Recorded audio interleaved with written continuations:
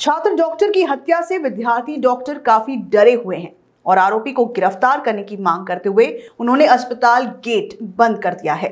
ऐसे में मरीज़ और उनके रिश्तेदारों को काफ़ी परेशानी हो रही है।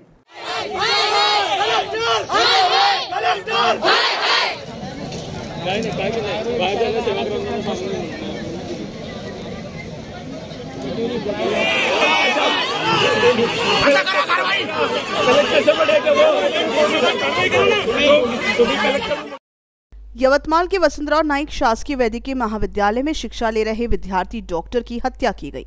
इस घटना से खलबली मच गई। महाविद्यालय परिसर में हत्या होने से विद्यार्थियों में रोष है। डॉक्टर अशोक पाल मृत विद्यार्थी डॉक्टर का नाम है। पुलिस को घटना की जानकारी मिलते ही उन्होंने घटनास्थल पर पहुंचकर पंचनामा किया। वहीं आरोपी को गिरफ़्तार करने की मांग करते हुए एमबीबीएस अभ्यासक्रम के विद्यार्थियों ने गेट बंद कर ठिया आंदोलन शुरू किया जिस वजह से मरीज़ और उनके रिश्तेदारों को परेशानी हो रही है। आर्थिक स्थिति नहीं अच्छी थी। उसके पिताजी ऑटो ड्राइवर थे और वो बहुत ही शुरू से मेहनती लड़का था। बहुत उसकी कोई भी एक्स्ट्रा करिकुलर एक्टिविटी ऐसी नहीं थी कि जो उसको आ, किसी दूसरे एंगल पे ले जाए या दूसरा कोई कारण हो।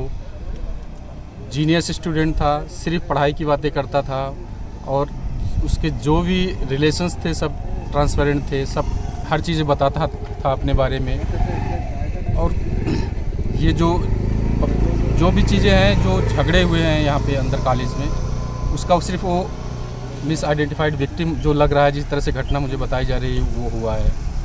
और वो समाज के लिए एक मिसाल लड़का था, जिस हिसाब से वो पढ़ाई करता था, जिस हिसाब उसकी ज़िम्मेदारी है, वो समाज के प्रति निर्भर ॲक्च्युली आम्ही काल एफ आय आर केलं रात्रीच आणि एफ आय आर झालेला आहे आणि त्याच्यावर कारवाई होऊन राहिलेली आहे पोलिसांमार्फत.